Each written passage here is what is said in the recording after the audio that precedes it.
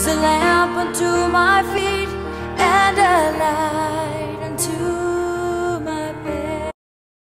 Good evening, everybody. It's so good to see you as we gather for our final installment of the 4x4 by 4 prayer initiative on this National Day of Prayer.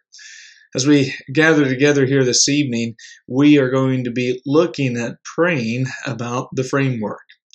Charles Swindoll once said that prayer is an investment. The time you dedicate to prayer isn't lost. It will return dividends far greater what a few moments spent on a task ever could. If we fail to cultivate this discipline, prayer winds up being our last resort rather than our first response. And so today I want to remind you as we gather together, I want to remind you that prayer, that prayer is absolutely essential in the life of the Christian, and it's essential for the welfare of our country. As we begin looking at Scripture, we understand that it has been said, Blessed is the nation whose God is the Lord. That's in Psalm 33, verse 12. That's the passage we started our day off with, and it's the passage we come back to as we end our time together. I want to challenge you to do two things as we wrap up our day together on this National Day of Prayer. I want to challenge you, number one, to pray for the nation, to pray for the nation to hear, to obey, and to live for the Lord.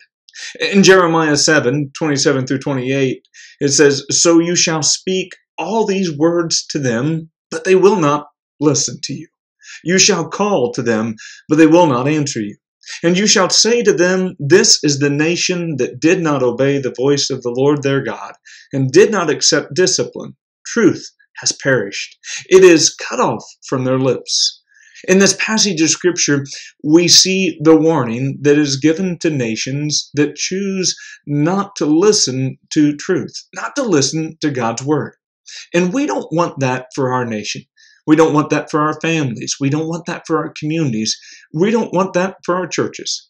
We want a nation that is truly turned to the Lord, a nation that has a thriving, vibrant relationship with Him. And so let us pray as we close this evening together. Let us pray for our nation to hear, to obey, and to live for the Lord. That's the first challenge. The second challenge is we need to pray for godly leaders. We need to pray for godly leaders to rise up in our nation, nations. We need to pray for godly leaders to rise up in our communities, to rise up in our churches. We need to pray for godly leaders to lead families once again and to lead these families, churches, communities, country back to the Lord as we look at this last challenge that we have, as we close our time together this very day, let us pray for godly leaders, that God would rise up or raise up godly leaders for the future. Patrick Henry once said, It cannot be emphasized too strongly or too often that this great nation was founded not by religionists, but by Christians, not on religions, but on the gospel of Jesus Christ. And so today, let us pray. Let us pray that our country would return to the Lord. Let us pray for godly leaders.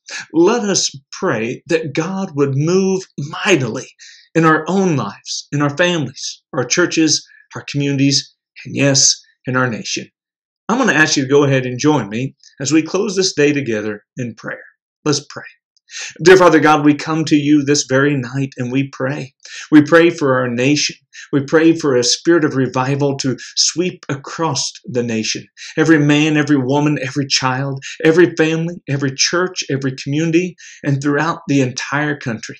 We pray, Father God, that our people would turn back to you, that they would hear your truth, that they would come to obey you, that they would come to have a thriving relationship with you.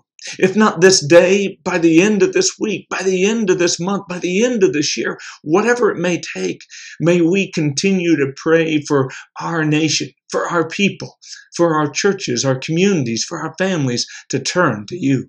And Father God, we also pray that you would rise up, or that you would raise up godly leaders, that you would raise up godly leaders not only for the here and now, but for the future as well that you would plant that seed of hope, that you would plant that seed of truth, that you would plant that seed of passion and zeal deep within the hearts of leaders, and that they would lead our families, our churches, our communities, that they would lead our country back to you, and that we would be that nation, that nation that calls upon you as the Lord our God.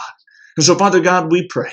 We pray that you would continue to move mightily among your people and move mightily in this nation. And may a spirit of revival fall upon us this day. In Jesus' name we pray, and all God's people say, Amen. Hey, I want to thank you all for joining us throughout the course of this day for that 4x4 by 4 initiative and praying for our country and praying for the, our, the faith to be increased, praying for those on the front lines, praying for our families, and praying for that framework that the framework that would matter most, that we would turn to the Lord and He would be our foundation, that that is what would ultimately take place in our country. So God bless you all, and may God keep you in His presence until we meet again.